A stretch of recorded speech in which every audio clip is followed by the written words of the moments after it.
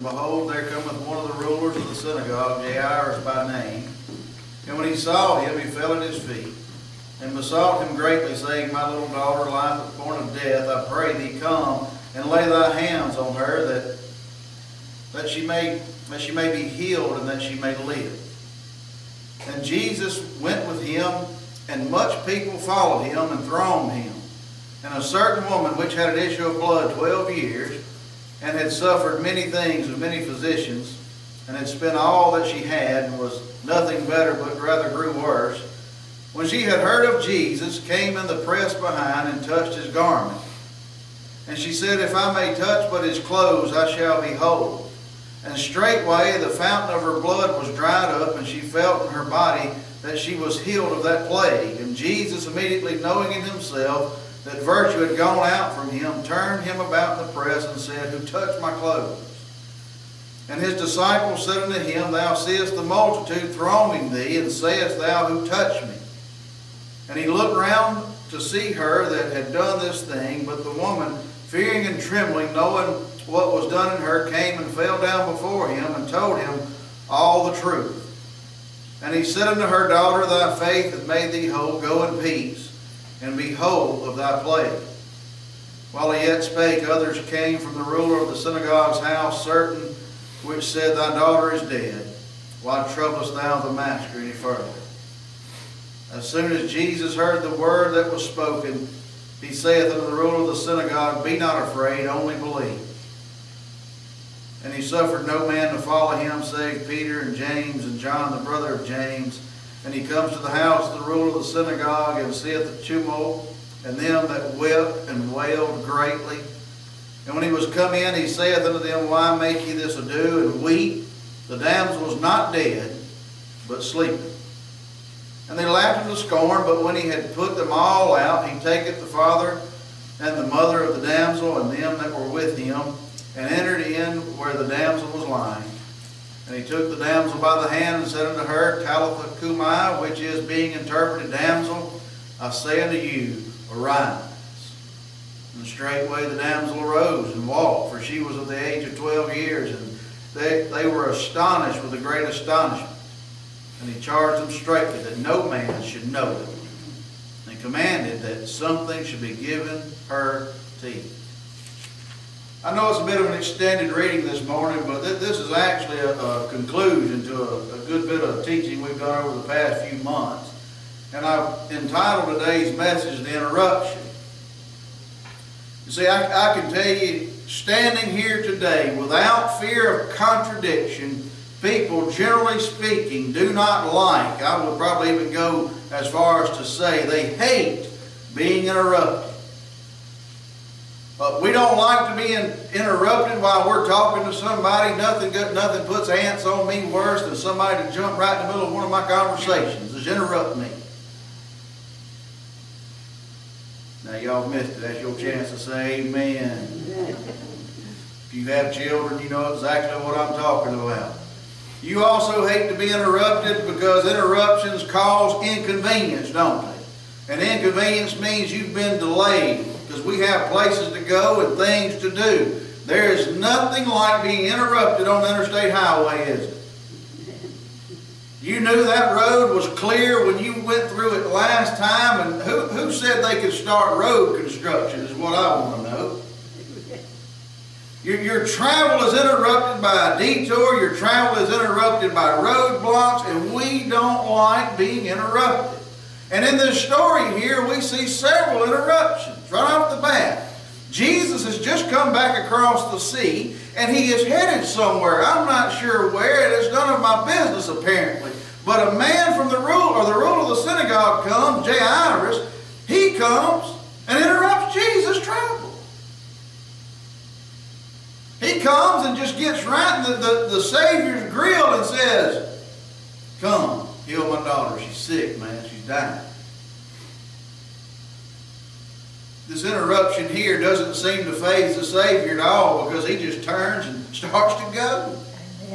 But now then, before we get dug in, I want you to understand this is a conclusion because we're, we're working through teaching or preaching through the life of Jesus in chronological order as best we can.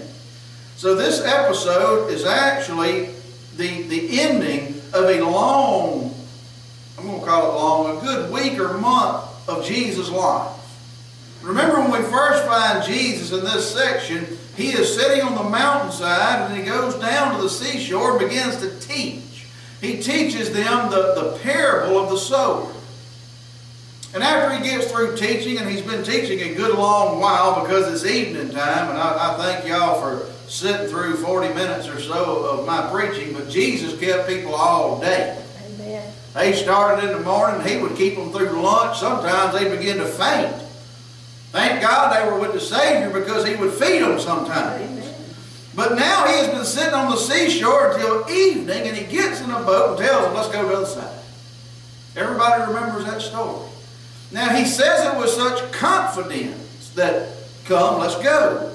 His disciples, the only act of faith we see here, they get in the boat and they go with him. And we understand that the Savior is tired because preaching will wear you out, whether you believe it or not. So the Savior goes to sleep in the back of the boat and a storm rises up. And Jesus, of course, is just fine in the midst of the storm and his disciples get scared and and say, Jesus, aren't you going to save us? We're in the midst of a storm. He gets up, rebukes the disciples, speaks to the wind and the waves. Everything gets gone. Amen. And immediately he shows up on the shores of the Gadarenes and he he's come there with intentions. He came to, to set one man free and to make himself known to a whole region called the Decapolis. It's quite an event, though, because he shows up in the dark. He heals this monster of a man. Man wants to go. Jesus says, you can't. You just stay here and tell him how good God's been to you. Can you relate to that? Amen. Can, can you relate to just staying where you are and telling the folks how good God's been to you? I, I'm not exactly sure and, and, as I expressed to everyone on Wednesday night, I'm not exactly sure who has tricked people into believing that more is better. Sometimes just staying where you are, living a simple life, and, and just telling people how good God's been to you right here. Quit worrying about that quote unquote next level that may never come. Content where you are. Amen. And then, of course, Jesus, when he's done, the people want him to leave, and he obliges. He gets in the boat and heads right back. And that's where we find ourselves today. He sails back, hits the shore, and he gets out, and he, and he heads somewhere.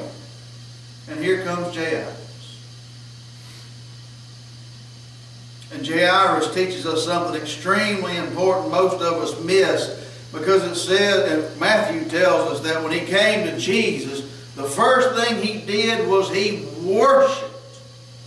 Before he asked anything, before he declared his, his intentions, he came and he fell at the feet of Jesus.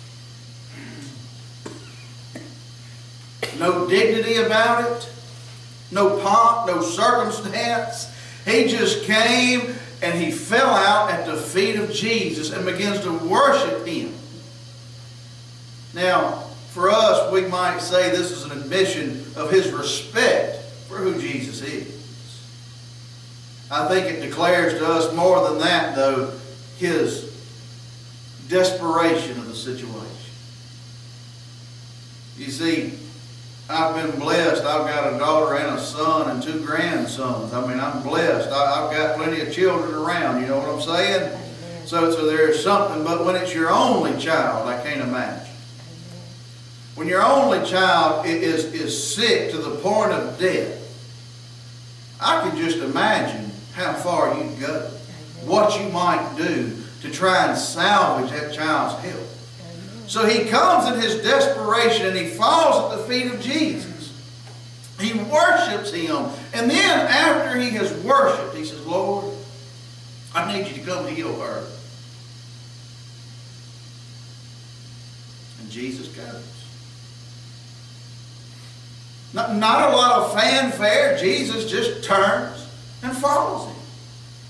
Now, it makes me think of this, and I'll go ahead and tell y'all now, I'm not one for formulas coming out of the Bible. I know the television preachers want you to believe there's a formula for everything. That there's not. And I'm going to get to that by the end of this message today. Mark 11, 24, Jesus says, Whatsoever thing, or what things soever you desire, when you pray, believe that you receive, and ye shall have them. There are a lot of people who take that, latch on to that, and think, well, Lord, I want a Maserati, that's what I'm going to have. If that's the Lord's will, that may be the case. But what I'm trying to tell you is, is that the, the Bible tells us that we must come to Him in faith, believing. Jesus said, if you come and if you have this desire the Lord's put in you, when you pray, believe that you have it, and you will.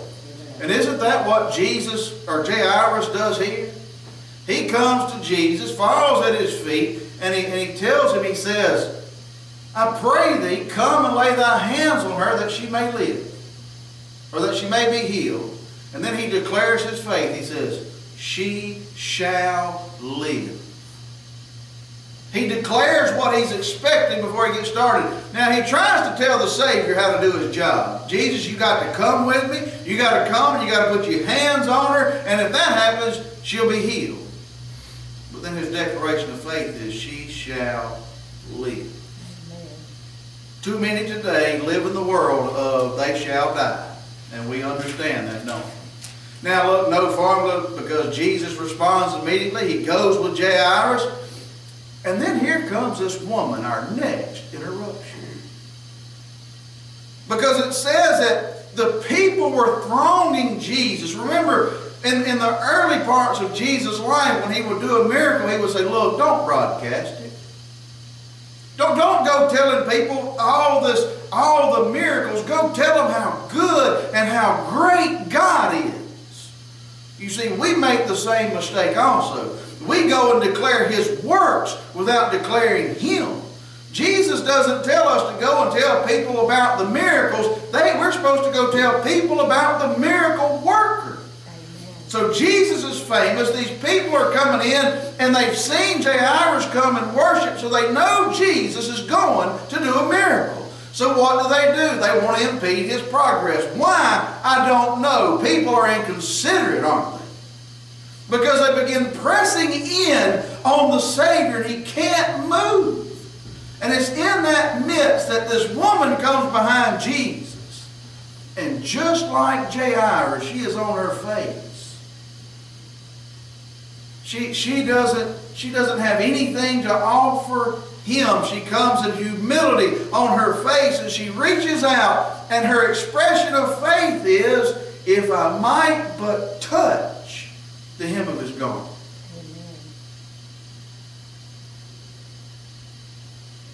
And the declaration of her faith is, I shall be whole. She comes in behind him, and listen to me. Her faith did not bring her to the Savior. Her desperation brought her to the Savior. Twelve years, been, been abused by doctors. Spent everything she had, so we presume she had money at one time, but not now. She's broke. She's humble. And she comes to the only ones that she knows can heal her. And she exercises her faith and says, I shall be whole. Now then, here's why I wouldn't want this to be a formula. Lord, I don't want to be sick for 12 years. Amen. Lord, I appreciate the good stuff and the money you've allowed me to, to, to acquire. But Lord, I don't want to spend it all to be well. Amen. Amen. So if this is a formula, if you want your healing, you may have to go through 12 years. No, thank you. Lord, I want to just trust you and believe you today for healing. But now then, here's the interruption. This woman reaches out and touches Jesus. She gets healed. And she cowers down, just blends back into the crowd. Now that should have been good enough from the human perspective. She got her healing, go on about your business. Jesus, go on and heal that girl. But Jesus stops. He stops to interact with this woman.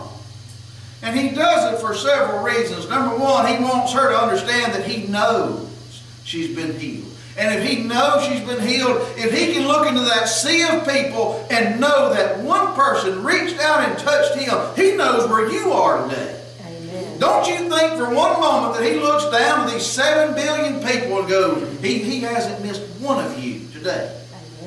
I rest, I rest in some assurance today that He knows exactly where I am. He knows what I need. He knows the cry of my heart. He knows where the pain is, and He knows how to fix it. And He knows how to take those tests that I have and the tests that this woman has and turn them into a testimony. And isn't that what He does? He stops to interact with her, number one, to let her know that He, he knows and to give her an opportunity to testify of what has just happened. And then right there in the midst of all these people, he commends her rather than condemning her and says, Your faith has made you whole. Go in peace and be whole of your blood. The interruption is this. Now, I'll go ahead and tell you, First of all, if I'm taking Jesus or a doctor or anybody else to help my kid, I've got them by the hand. And those people that are thronging Jesus are not going to like me. Because when I'm desperate, when I'm getting anxious and angry, I'm, I'm, I'm not easy to get along with. And I can tell you, I'm walking along and I've got Jesus and he pulls me back. And he says, who touched me? I would have already been going, yeah, who touched him and why? You understand what I'm talking about? I don't like interruptions. I don't like delays, especially when life is on the line. Can you see the blood run out of his face? He has just come and worshiped. Put away his pride to get the Savior to come to where he needs him. And them stupid crowds won't leave him alone. Have a considered? See, I can hear the cry of Jairus. Do y'all not know my daughter is laying at home dying? Leave the Savior alone. I need him more than you do. See, the desperation has already brought him. And then this woman comes and she gets healed, and Jesus stops. The woman doesn't stop Jesus. Jesus makes a conscious decision to stop. Jairus' miracle is interrupted. Now, if, you stop there, you would puzzle and think, Lord, that sure seems unkind. Jairus has acted in faith. I asked first. And if I'm Jairus, I'm like, why have you stopped? She got her deal, her healing. You didn't have to stop. Man, I'm running out of time. Interruption is necessary. You see, it's necessary because this woman needs forgiveness. She doesn't just need a healing. She needs to understand that there is now no condemnation to them who are in Christ Jesus. She needs to understand that the Savior not only has authority over her sickness, she needs to know, and the crowd needs to know, and we need to know that the Savior even has authority over your uncleanness. Now, that may not mean a thing to you. Because now she is made clean. And she's standing there, and I'm sure she's beaming. And Jairus is fuming. And Jairus' people come and say, look, she's died. Y'all, y'all quit bothering Jesus.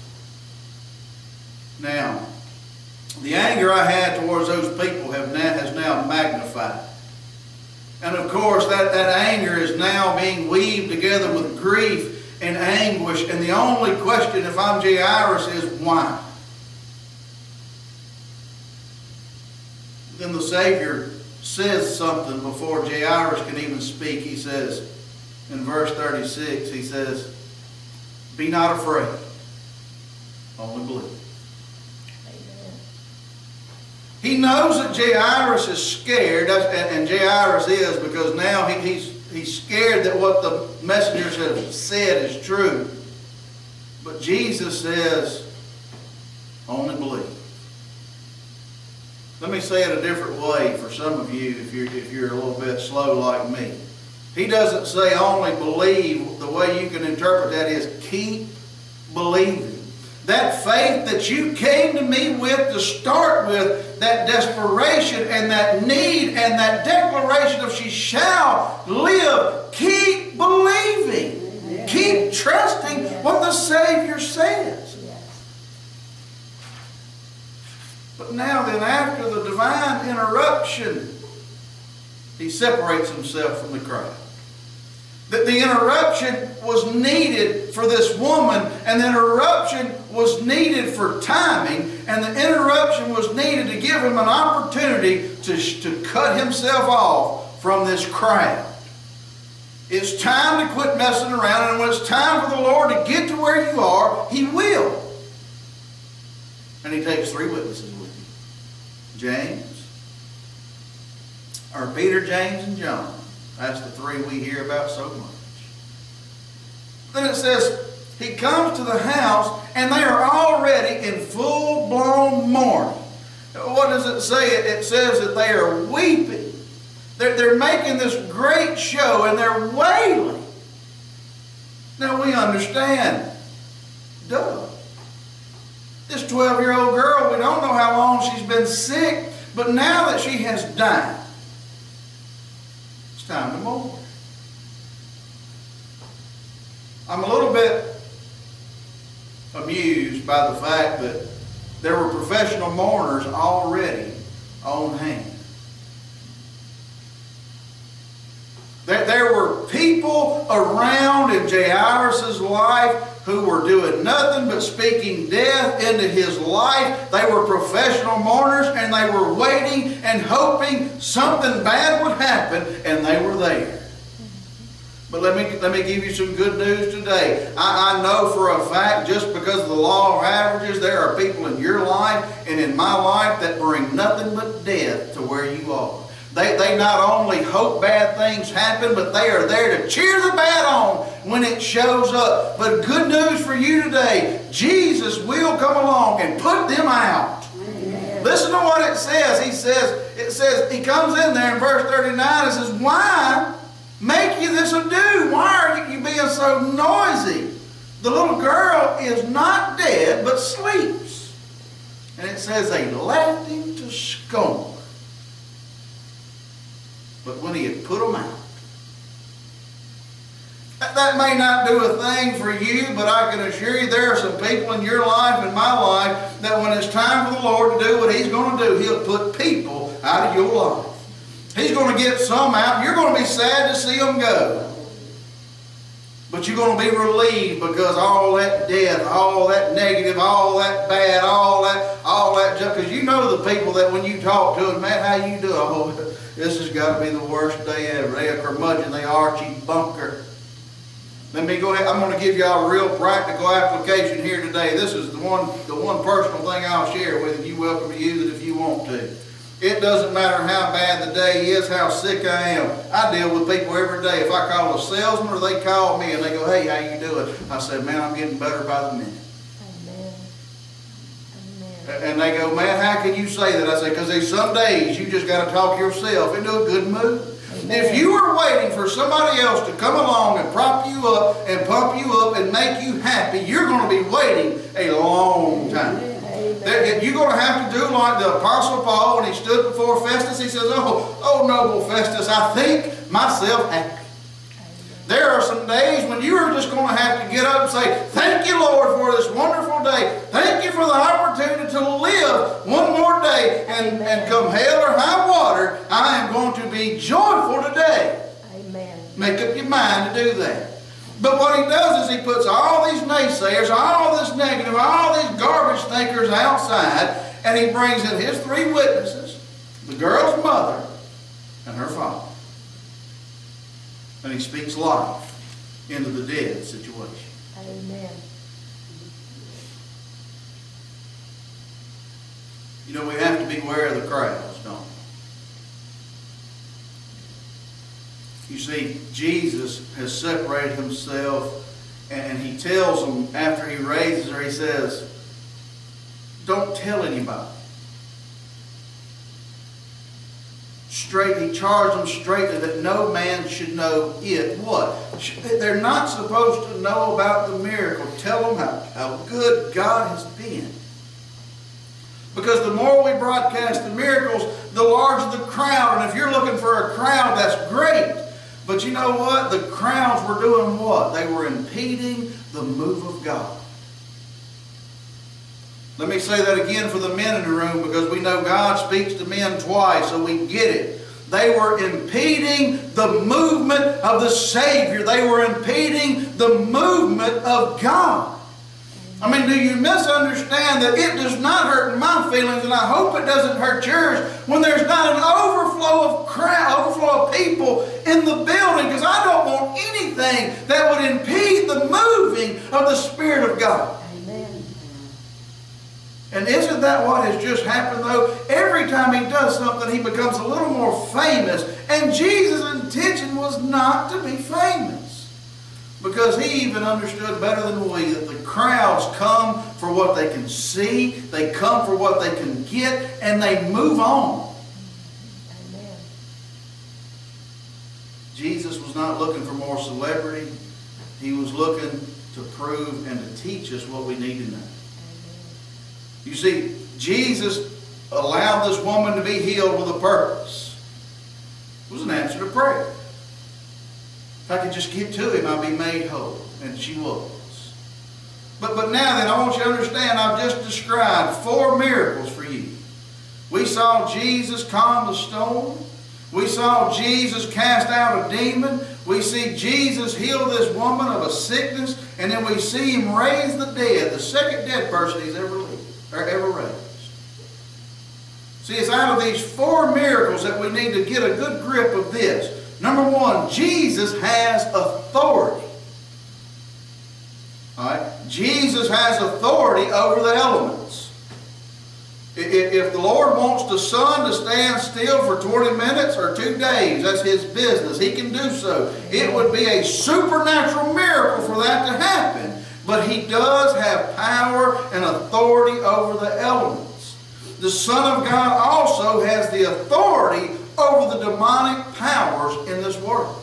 Amen. Because when he came to the shore of, of the Gadarenes, the demoniac come running to him, asking him to leave them alone. Because they knew that the, Jesus is the only one that could speak life into that situation. And this woman, we see that, number well, first, Number one, Jesus is not corruptible.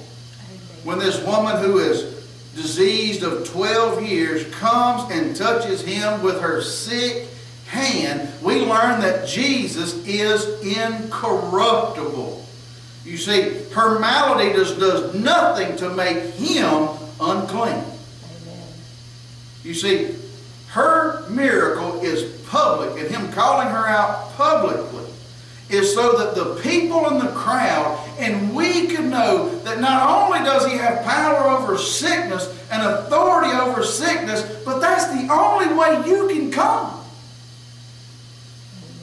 Let that, let that sink in for a minute. You can't do anything to clean yourself up Amen. to the point where you are not nasty in the sight of God. If you come to Jesus, you bring it all. Because the Word of God says that our righteousness is as filthy rags. She comes unclean. She comes as what the Jews would have thought of as a vile individual. She comes sick, nasty, and that nobody would have had anything to do with her. And she comes to him sickness, uncleanness, and all with one thought in mind, if I can just touch it. Amen. I can just touch it. We learn that Jesus is incorruptible, but we also see that he does have the authority over sickness. That being said, does that mean Jesus heals all sickness? Of course not. We'd be lying if we said so. I don't claim to understand all the providence of God, but some people bring sickness on themselves. They like being sick. They hang on to it. Oh, you better not try and take it away from them. Brother, you want me to pray for you? No, I just got on disability. You know what I'm talking about. But, but look, he also teaches us that with this one moment, with this one interruption with this woman, that we have a high priest that can be touched with the feelings of our infirmities and that he has been tested and tried just like us. There's nothing that you go through today that Jesus doesn't understand.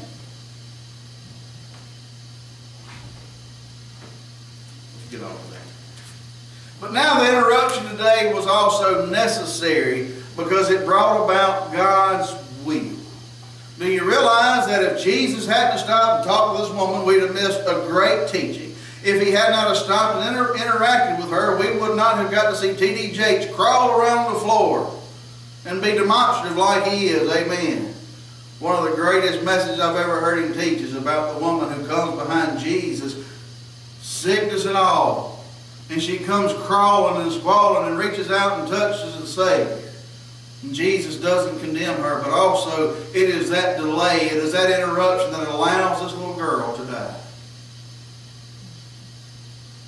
Remember what I said about not understanding all the providence of God? If you say you do, bless your heart. But if this girl had not died, we'd have just seen that he still had authority over sickness. And because she died, though, we see that he has authority over death. Amen.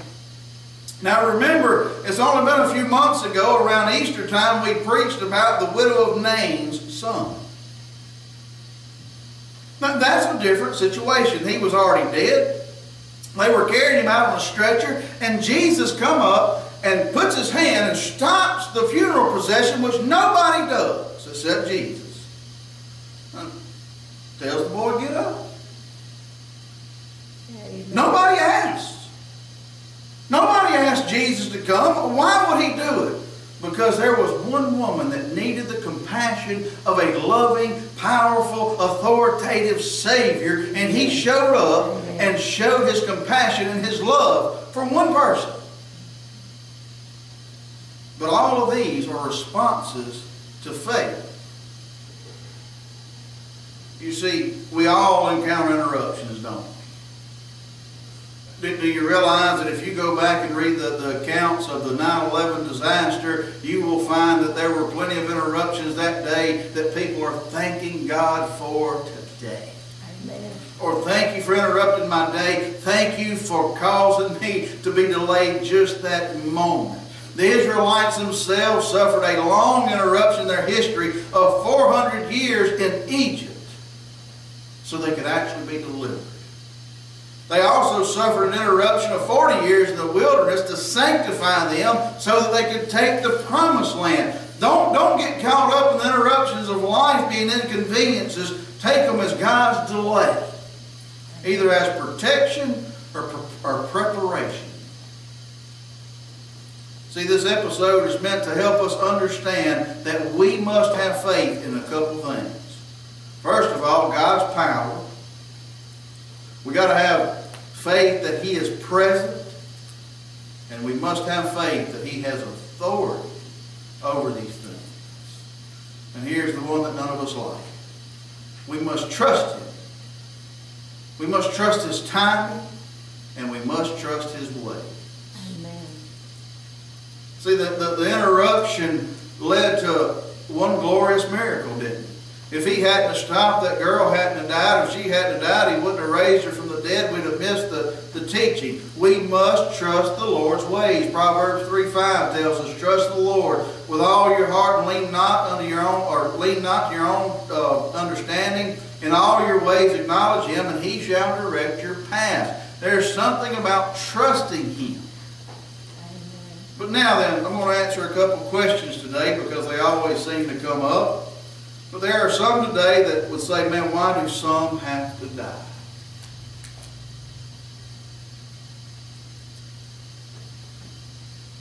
I'm going to go ahead and tell you today, I don't want to sound heartless or cold.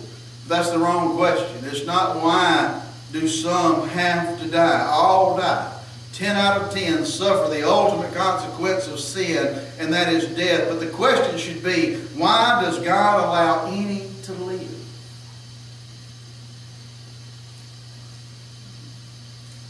See, all have sinned and come short of the glory of God. And then, and then people say, well, what about all the sins that I committed or they committed while they were ignorant of them? And I look at them in the face and I say, I'm not worried about the sins you committed in ignorance. My fear for you and my fear for those that are still alive today is not those that you committed while you were ignorant, but those that you commit every day with full knowledge. Amen. Romans 2, 14 and 15 says, For when the when the Gentiles which have not the law do by nature the things contained in the law, these having not the law are a law unto themselves, which show the work of the law written in their hearts, their conscience bearing witness, and their thoughts, the meanwhile excusing or else excusing one another. We all sin with knowledge, I'm afraid. Amen. You see, those that would look at this story begin to ask, why, why did the man get demon possessed? I don't know. Why did the disciples have to suffer the, the, the fear of that, that storm? I don't know. But I have to trust his ways. I have to trust his timing. But, but now then, the word today is do not despise the day of small things. I understand that you, you're going to have some interruptions in life and you're going to think they're, they're horrible. You're going to think today that, that they are impeding everything, and they're not. Some of you are wondering today, why has the Lord not come back? We've been hearing it since we were kids that the, the Lord is going to return. The Lord spoke into my life thus and so. Second Peter tells us, the Lord is not slack concerning his promises as some men count slackness. But he is long suffering to us, we're not willing that any should perish, but that all should come to repentance. Amen. You see, we, we are often a little too disappointed, I believe, with the way things Do you not think for a moment that Jairus was a little bit disappointed when Jesus took a couple minutes to turn and talk to this woman? And of course, it's because we live our lives from a wrong perspective. Why'd they die so young? Instead of, Lord, thank you for all the years you gave. Lord, why am I so sick today? Not, Lord, thank you for all the days I've been with. Amen. That there is something about having an attitude of gratitude. You know, here's one. Lord, I have to wear glasses. Lord, thank you for letting me be able to see it all. Amen. Lord, I don't like these afflictions, but Lord, thank you. Lord, thank you that I have a job. It may not be the one I like, but Lord, thank you that you give me the strength and the ability and the and the people to the the the, the favor with the people that they keep You see, we need to begin to reach out to Him today to be saved, to be healed, and to be delivered. And here's where we'll end today. The, the last verse, the last two verses we talked about says, And straightway the damsel rose and walked. For she was of the age of twelve years, and they were astonished with a great astonishment. And he charged them straightly that no man should know it, and commanded that something should be given her to eat. For those today that, that have made a decision for Christ recently, or for those that have been away from Him for so long, I want you to see two things in these last two verses. First and foremost, Jesus does not raise you up so you can sit back down and do nothing. Amen. It says when she got up, she began to walk. Jesus wants you to get saved, sanctified, and begin to walk with Him. Amen. And then it says right here, it, it, He commanded that something should be given her to eat. We need to be doing our best and, and just listening to Him and, and following His direction, walking with Him. Amen. And we need to be getting into the Word of God, which is the meat, it is the milk, it's what will sustain you. It is only by the Word of God that you will be able to exhibit the faith these people do, because faith comes by hearing, and hearing by the Word of God. Will you stand this morning?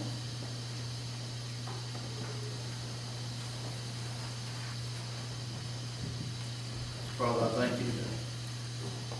I thank you for your Word, and I thank you for the opportunity. Lord, and as today we even started our service with an interruption. Lord, I thank you today that, that the delay is not without cause. Lord, I pray that you would minister each soul here, that your word would not, not go unheard and unministered to these people. Father, I pray that you would just save the lost, Lord, raise up those that have moved away from you. Lord, don't let us leave the way we came, in Jesus' name. Throw